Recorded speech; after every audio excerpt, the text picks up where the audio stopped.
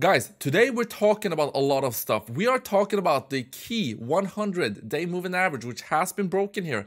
What does this mean for Bitcoin? We're talking about the smart money. You will not believe the significant stance they are taking right now on the market. So this is something you will want to watch, guys. I'm going to go through Bitcoin. I'm going to go through a trading setup for Ethereum as well as traditional markets. So stick around, guys. I'm also going to give you an update on my trading bots here.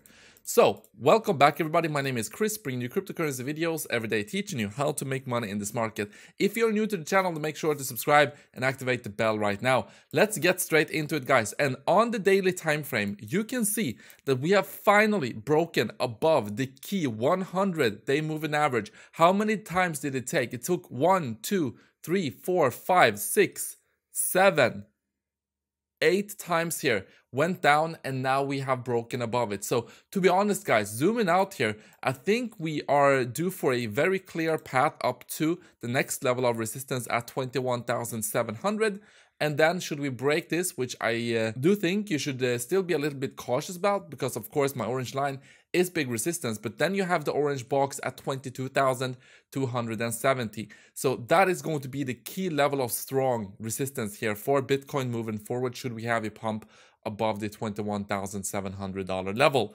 Now, what I am going to do, guys, even though I, as you know, I've uh, started to become more bullish on Bitcoin, so this pump is in line with what we could expect, but I still think that this level of resistance and this level of resistance is going to be hard to break, break through here for Bitcoin. So I am, should we come up to these levels, I am going to start building a short here from the $21,700 level up to the orange box at 22,500. So I will be building that short, guys. I will be doing that on OKX and that's a short term thing, guys. I am going to wait for that pullback potentially down back to 21,400 eventually. So that is going to be a nice trade for me. Now, be careful as always, guys, especially if you're shorting, because if we break through this level, make sure to use a stop loss so you do not, you know, just be in a trade which goes against you, losing you money. So using a stop loss above the orange box here, but building that short from 21,700. That is what I am going to be doing personally. And then taking profit on the first pullback, potentially down to 20,400.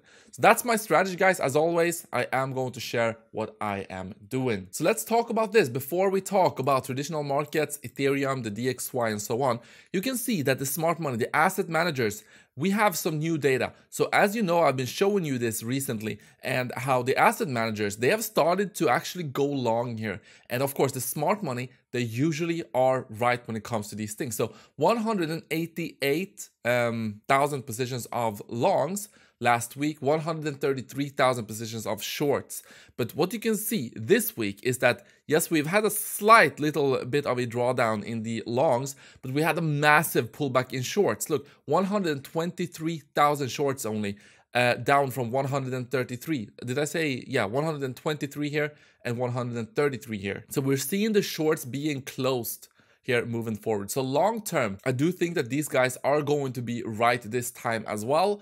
But just short term for Bitcoin, I do think that we could see a little bit of a pullback from these levels. So that's a short term trade. But then, you know, as I've been saying, this is the time to start preparing for the next major uh, bull run for Bitcoin and crypto in general, which I do think is going to start in between three to six months. So you want to be prepared for that, guys. Other than that, we have the traditional markets. They found support of my orange line at 3,717. Uh, 3, big pump here from that level guys so we want to hold this for traditional markets if we want continuation for the crypto markets as well, of course. For the DXY, we are kind of in the middle of two significant trend lines. We do have my orange line here at 108, and then you have up here at 115. So the DXY have some more room to grow, both to the downside and to the upside, so pay attention to that. Before I talk about this Ethereum setup, guys, I want to speak a little bit about the bot here, because the bot I uh, showed you yesterday on BitGet was actually closed. I don't know why this was closed. Actually, it just said order failed. So if you followed this bot yesterday, uh, this bot is probably closed for you as well. Now, I'm not complaining. I mean, in one day, it made 21% in profit, so that's fine. But I have added a exactly the same uh, levels for this new bot, which is up almost 4% already here on, on BitGet. So if you want to go into this bot as well, make sure to check yesterday's video where I go through the settings and exactly how to do this. But I just wanted to point that out that this bot was for some reason closed. So I added in exactly the same uh, thing here again. So let's look at Ethereum. Ethereum is right now on a key level of resistance. You can see it right here, 1,653.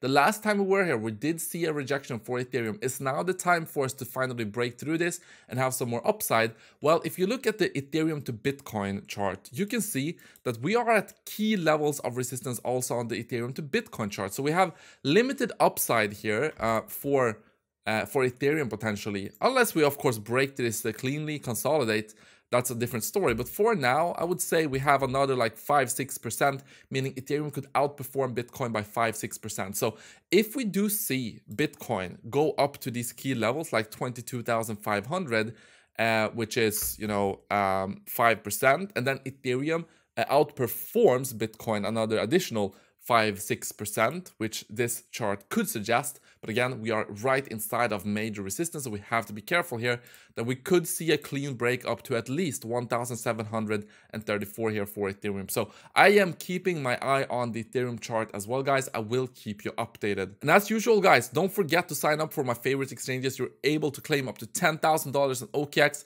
by using this link right here. Also on BitGet, if you want to claim up to $8,400, you are able to do that. And also for traders who are not uh, usually able to sign up for other exchanges like OKX, Bybit, Phemex, you can use BitGet most likely. So make sure to take advantage of that offer. That's what I got for you guys. Thank you so much for watching and I will see you in the next one.